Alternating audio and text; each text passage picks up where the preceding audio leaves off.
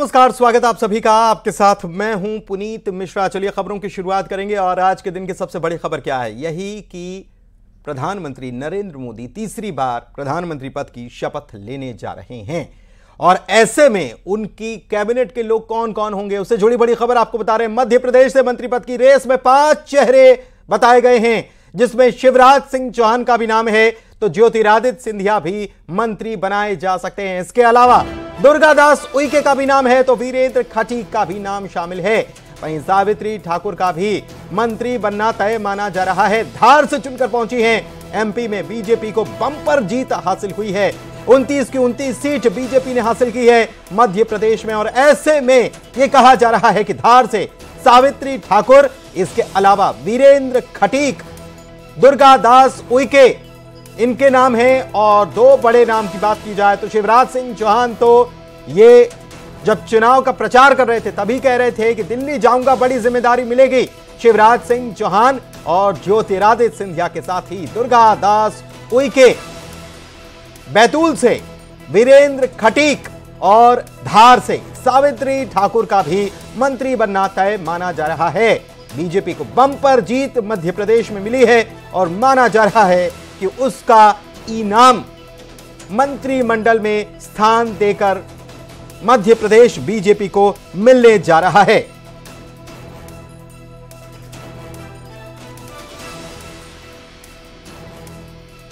तो ये बड़ी खबर इस वक्त आपको बता रहे हैं। सावित्री ठाकुर धार से सांसद हैं और महिला के तौर पर उन्हें स्थान मिल सकता है। मंत्री पद की रेस में पाँच नाम हैं। जिसमें शिवराज सिंह चौहान, जिन, जिन्होंने पहले ही कह दिया था कि उनको मंत्रिमंडल में स्थान मिल सकता है। उनको उनको बड़ी ज़िम्मेदारी मिल सकती है। और ऐसे में शिवराज सिंह चौहान, ज्योतिरादित्य सिंधिया, वीरेंद्र खटीक पहले भी मंत्री रहे। उनको भी फिर से स्थान मिल सकता है। और जो संभावित चेहरे थे, जिनके साथ मीटिंग की प्रधानमंत्री मोदी ने और 100 दिन की कार्य योजना पर चर्चा की।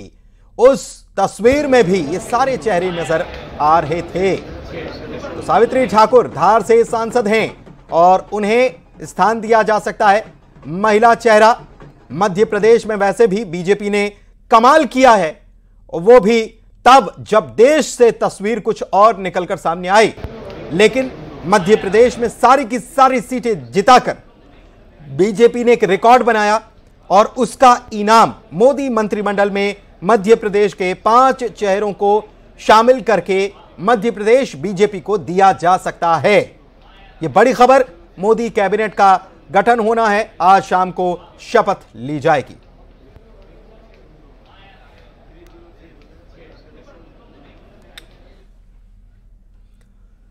और धार से सांसद सावित्री ठाकुर मोदी मंत्रिमंडल की सदस्य होंगी। उनको पीएम ने अपनी चाय पर चर्चा पर आमंत्रित किया था। सावित्री ठाकुर ने कहा कि देश के विकास में अच्छे से अच्छा काम करें। पीएम ने यही गुरु मंत्र दिया है। उन्होंने बताया कि शपथ ग्रहण समारोह में शामिल होने के लिए कोई खास तैयारी उन्होंने नहीं की।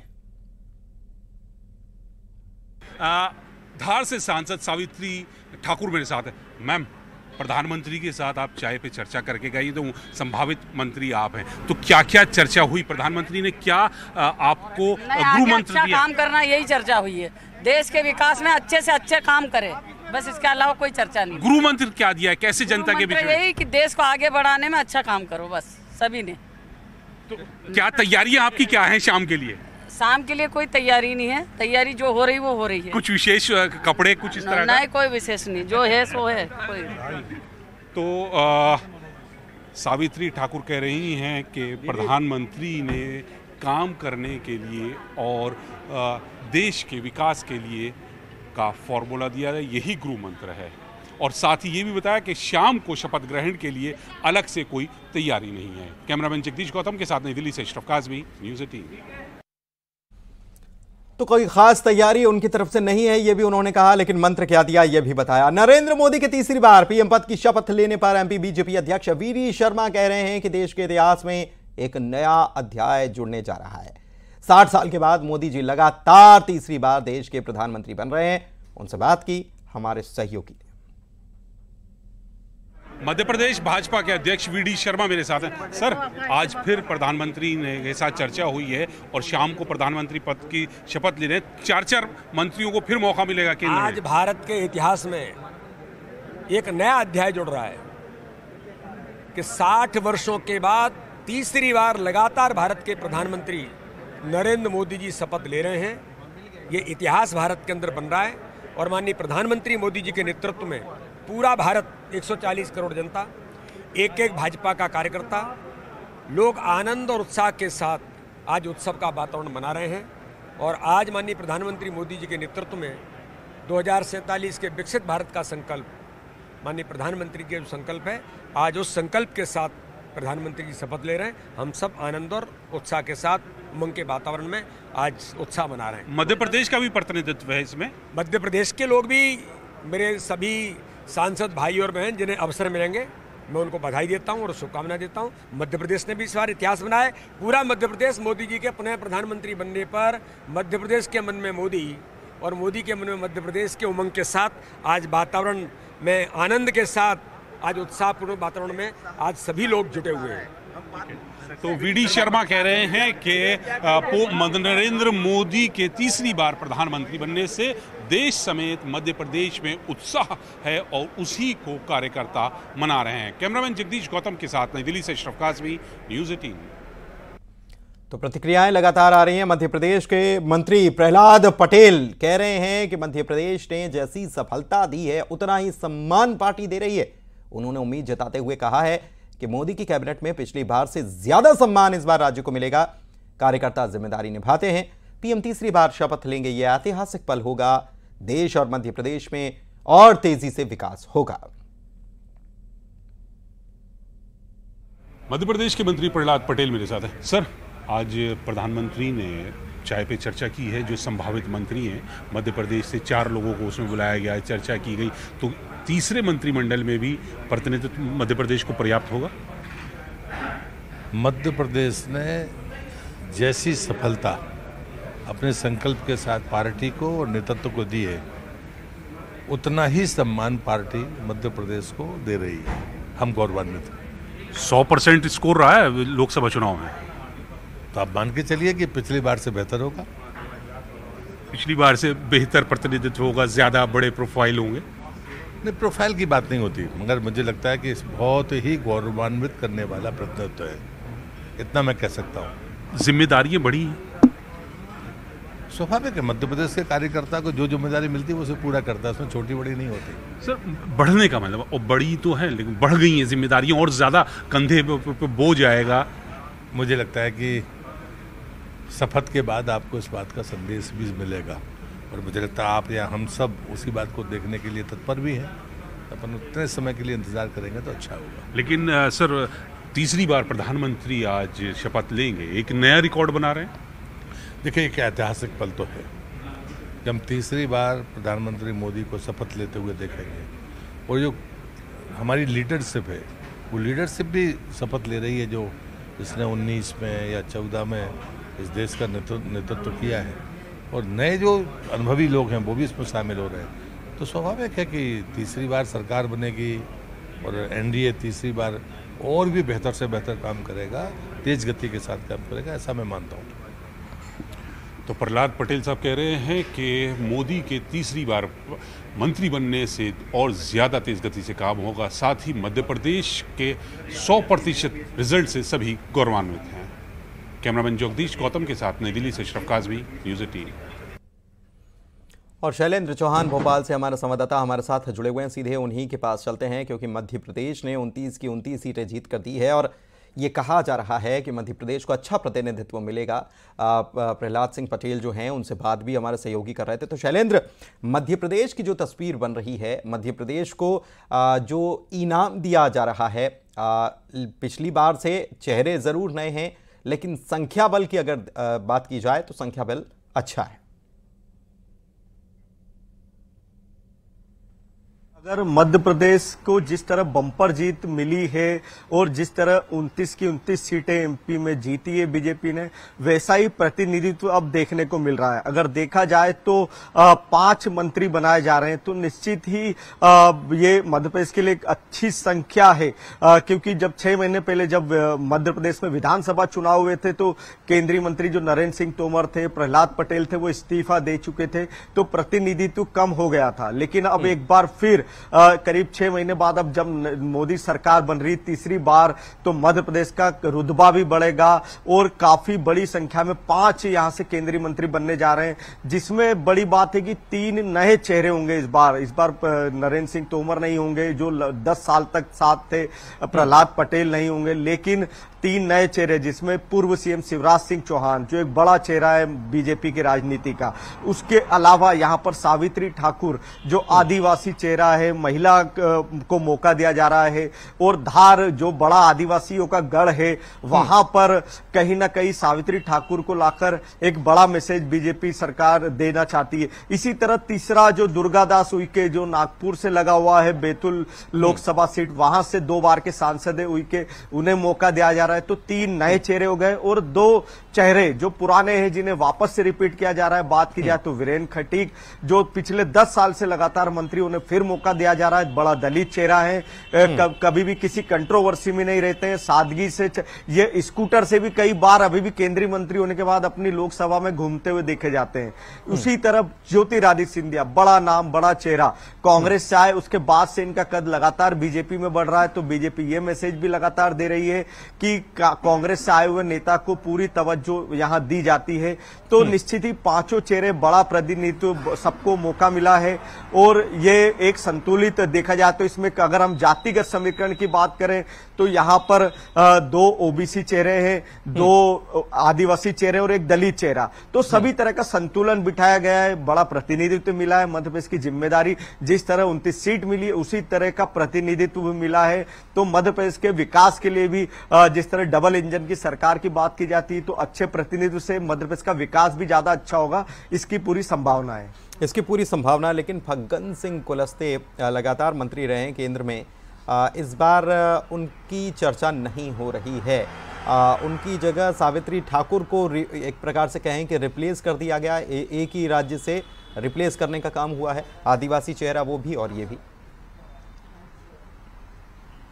हाँ देखिए कहीं ना कहीं फग्गन सिंह कुलस्ते के बाहर होने के पीछे ये माना जा रहा है कि आ, उनका जो उम्र का फैक्टर और पिछले आ, जो विधानसभा चुनाव से जब वो मंडला से के विधानसभा सीट से जब चुनाव लड़े थे और वो चुनाव हार गए थे तो हम्म। ऐसा लग रहा था कि उनका तो टिकट भी लोकसभा में कटेगा लेकिन पार्टी ने उन्हें मौका दिया और वो ऐसा भी लग रहा था कि उनकी जीत भी बड़ी मुश्किल है लोकसभा में लेकिन वो जीते हम्म। पर पार्टी नए चेहरे पर नए मौका देना चाहती भरोसा जताना चाहती नई आदिवासी लीडरशिप खड़ी करना चाहती तो हम्म। दो आदिवासी चेहरे चुने गए। अगर देखा जाए फग्गन सिंह कुलस्ते के रिप्लेसमेंट की बात तो दो आदिवासी चेहरे एक महिला चेहरा दिया है। पहली हम्म। बार आदिवासी महिला चेहरा केंद्रीय टीम में होगा। दूसरी तरफ़ दुर्गादास उइके वो भी बैतूल से सांसद आदिवासी चेहरा है। तो इस बार दो आदिवासी नेताओं को मौका दिया है। केंद्रीय नेतृत्व में लाया गया पार्टी आदिवासी जो गढ़ है। मध्य प्रदेश का बड़ा उसको किसी भी हाथ से जाने नहीं देना चाहती है। और सावित्री ठाकुर के साथ बड़ी बात है कि वहाँ नेता प्रतिपक्ष कांग्रेस से उमंग सिंगार रहे हैं और वो कहीं ना कहीं आदिवासियों के बीच अपनी घुसपेट बनाते नज़र आए तो एक साथ पार्टी ने बड़ा सोच समझ के सावित्री ठाकुर को लाया क्योंकि हिमाद्री सिंह का नाम चल रहा था लगातार कि वो हो सकती है शेडोल से सांसद है दो बार की लेकिन उनकी जगह वो भी आदि उनकी जगह आदिवासी चेहरे की जगह सावित्री ठाकुर को तवज्जो देने के पीछे कहीं ना कहीं एक बड़ी रणनीति भी है और धार वाला जो क्षेत्र है वहाँ पर पिछले चुनाव में पाँच विधानसभा हार गई थी बीजेपी तो हम्म। अब ऐसी कोई बीजेपी गलती नहीं दोहराना चाहती कि आदिवासी उनके हाथ से दूर जाए और, और उसका असर दूसरे राज्यों में भी पड़े।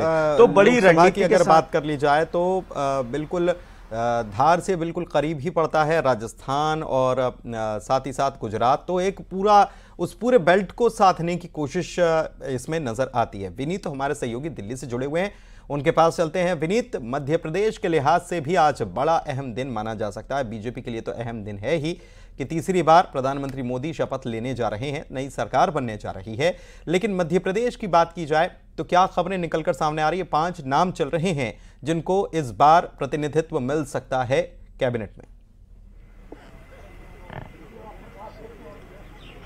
आज ये निश्चित तौर पर मैं आपको बताना चाहूँगा कि मध्य प्रदेश जो है मध्य प्रदेश ने काफ़ी शक्ति दी है प्रधानमंत्री नरेंद्र मोदी को क्योंकि उनतीस के उनतीस सांसद जो है वो मध्य प्रदेश से जीत करके आए हैं। इसके साथ ही साथ अगर छत्तीसगढ़ के बारे में बात करें तो छत्तीसगढ़ में से ग्यारह से दस सांसद जो है वो बीजेपी के जीत के आए हैं। लेकिन एक मैं खास बात मैं आपको बताना चाहूँगा कि इस वक्त मैं दिल्ली में हूँ और हमारे साथ जो प्रधानमंत्री नरेंद्र मोदी का जब शपथ ग्रहण कार्यक्रम होगा उस वक्त कई ऐसे व्यक्ति भी उस कार्यक्रम में शिरकत करेंगे और वहाँ पर उस कार्यक्रम के साक्षी बनेंगे, जिनकी चर्चा प्रधानमंत्री नरेंद्र मोदी ने अपने मन के बाद कार्यक्रम में की थी। निश्चित तौर पर गुमनामी के जो हीरो थे, अनसंग हीरो थे, उनकी चर्चा प्रधानमंत्री नरेंद्र मोदी ने अपने कार्यक्रम में की थी, मन की बात में की थी, और उन्हें स्पेशल इन्वाइटी के तौर पर जो है, वो यहाँ पर बुलाया गया है। हमारे साथ जयराम विप्लव है, सामाजिक कार्यकर्ता है, राजनीतिक कार्यकर्ता भी हैं, उनसे हम जानेंगे।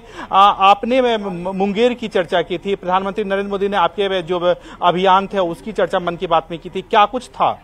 सबसे पहले तो आपके माध्यम से प्रधानमंत्री जी को एक बार पुनः बहुत बहुत शुभकामनाएँ और उनका धन्यवाद करूँगा कि आज़ादी के पचहत्तरवें वर्षगांठ के अवसर पर अमृत महोत्सव के माध्यम से उन्होंने तारापुर शहीद दिवस की चर्चा की, मुंगेर के हमारे ऐतिहासिक वीरों को जिन्होंने अपने प्राणों का बलिदान दिया था, ऐसे चौतीस शहीदों को नमन किया और उनको नमन करते ही उन्होंने मन की बात कार्यक्रम में दो हज़ार इक्कीस में आज़ादी का अमृत महोत्सव अनाउंस किया था।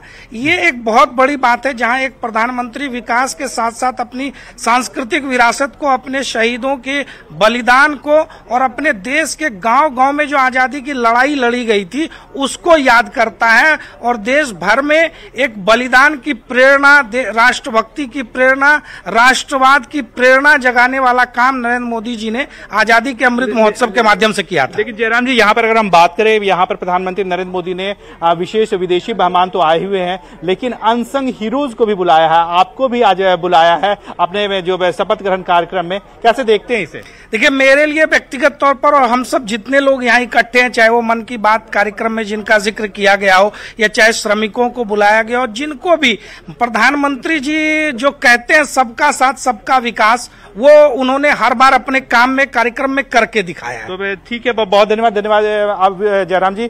हमारे साथ एक महिला भी है उत्तराखंड से आई हुई है उनकी भी चर्चा जो है कामकाज की चर्चा जो है प्रधानमंत्री नरेंद्र मोदी ने मन की बात में की थी। क्या कुछ कहा था? मेरा नाम पूनम नोटियाल, मैं उत्तराखंड से हूँ और मैंने कोविड वैक्सीनेशन में घर घर जाके लोगों को टीके लगाए हैं। जैसे गर्भवती महिलाएँ थी, दिव्यांग, दिव्यांगजन थे, उनको घर घर जाके पैदल चल के रोड पार करके और नदी पार करके हम हम लोग घर घर गए वहाँ टीकाकरण किया है। जब मन की बात में मेरी बात मुझे से हुई तो उसके बाद मुझे काम करने का और मतलब जो जो उत्साह है वो मिला। और मेरे साथ की महिलाएँ हैं, उनको भी लगा कि हाँ महिलाएँ कुछ कर सकती हैं। लेकिन अगर हम बात करें, यहाँ पर प्रधानमंत्री नरेंद्र मोदी ने पहली बात आपके काम को रिकोगनाइज किया, उसके बाद अब इन्वाइट कर रहे हैं, जब वो तीसरी बार शपथ ले रहे हैं, उसमें आपको इन्वाइट कर रहे हैं, उस कार्यक्रम के साक्षी बनने के लिए। ये कैसा लग रहा है? कैसा अनुभव है ये? बहुत ही गौरव का पल है पूरे देशवासियों के लिए और उत्तराखंड के लिए तो बहुत ज़्यादा है क्योंकि हम लोग हम लोग वहाँ से आए हैं तो हमें बहुत खुशी हो रही है और बहुत बहुत धन्यवाद करना चाहती हूँ मोदी जी ठीक है बहुत धन्यवाद। तो यहाँ पर साफ़ तौर पर यहाँ पर आप देख सकते हैं कि कई ऐसे लोग जो हैं जो प्रधानमंत्री हम्म। नरेंद्र मोदी के शपथ ग्रहण कार्यक्रम में आएँगे जिनकी जिनके कामकाज की चर्चा जो है वो प्रधानमंत्री नरेंद्र मोदी ने अपने मन के बात कार्यक्रम में की थी और इसके साथ ही साथ प्रधानमंत्री नरेंद्र मोदी जिस तरह से अनसंग हीरो की बात करते हैं तो अनसंग हीरो को न सिर्फ़ पहचान दी बल्कि आज उन्हें सम्मान भी दे रहे हैं कि अपने शपथ ग्रहण कार्यक्रम में बुला रहे हैं। जी। बिल्कुल बिल्कुल। बहुत शुक्रिया विनीत आपका इस तमाम जानकारी के लिए और साथ ही साथ शैलेंद्र आपका भी बहुत शुक्रिया इस जानकारी के लिए। और यहाँ वक्त एक छोटे से ब्रेक का है। लौटेंगे जल्द आप बने रहिए।